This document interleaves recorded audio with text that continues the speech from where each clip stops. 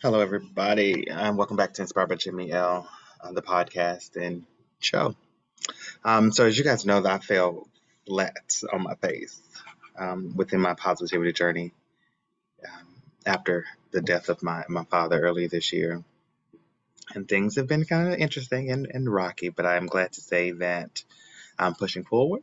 Um, things are getting better. And um, more importantly, I'm rediscovering what it means to be me um, after losing a parent because it looks drastically different. And so, what I've decided to do is to kind of pick my positivity journey back up. And I know to do that, I have to stand strong on my foundation.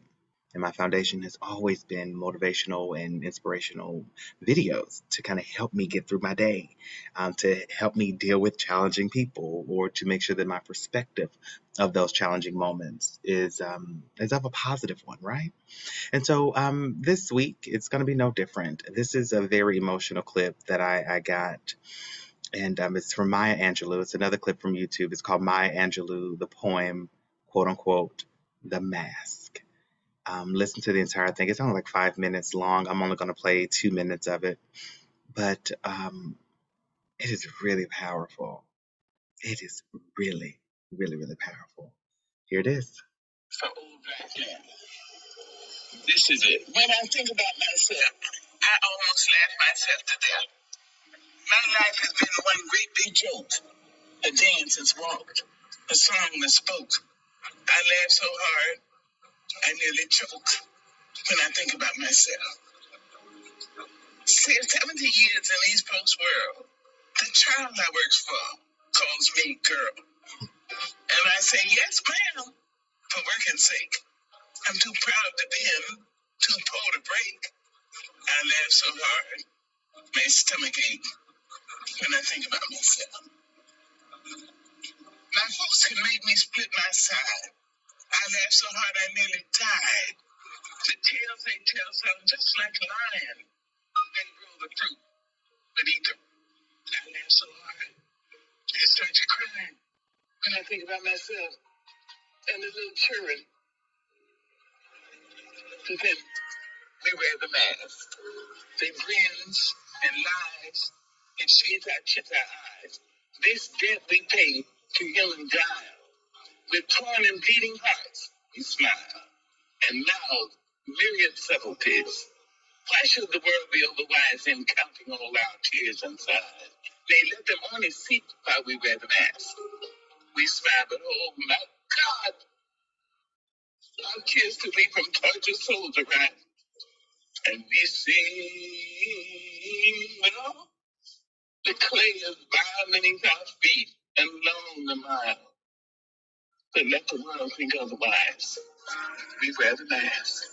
My fathers sit on benches. Their flesh count every plank. The slats leave dents of darkness deep in their withered flank, and they knock like broken candles, all waxed and burnt profound.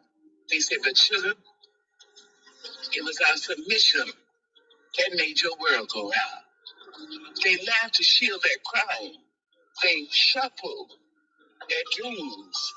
They stepped and fetched the country and wrote the blues and screams.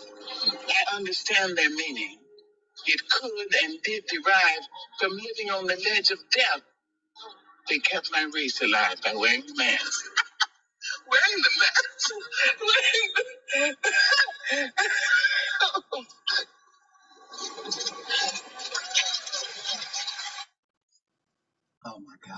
Um, first off, I love Maya Angelou. And I know her poem is, um, I know she's talking about the, the Black heritage. But for me personally, it touches me because I think about what we do at our jobs. We wear these masks just to kind of get by.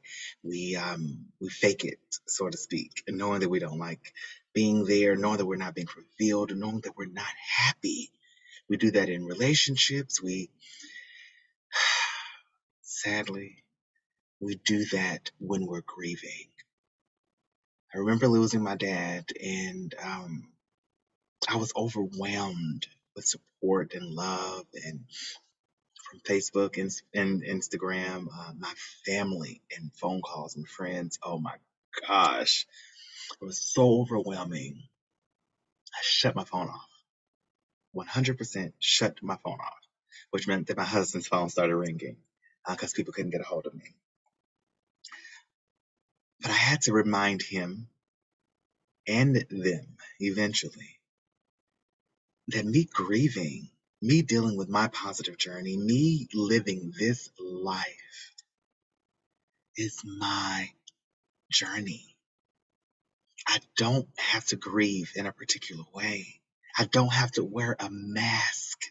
I don't have to mask my feelings, my thoughts, or whatever I'm dealing with right now. Damn it, I'm broken. Damn it, I'm upset. Damn it, I'm pissed off. Damn it, I'm frustrated. Damn it, I'm sad. And so, kind of going through that and, and, and allowing my emotions to do what they did, it really made me fall flat on my face. And I am so thankful for it. So I want to inspire you to put the mask down if you can. Learn to be who you are. Work your way to get into a position where you no longer have to put on a fake smile. That's whether you're talking to your parents, talking to your kids, or talking to your boss. I truthfully believe in my heart of hearts that when you and I are able to be who we authentically are, that's when the real magic happens. That's the real truth. That's what I really think Maya Angelou is pushing for in regards to us evolving and laying down the mask. They're not necessary anymore. I love you guys as always. Till the next one, peace be unto you. Namaste.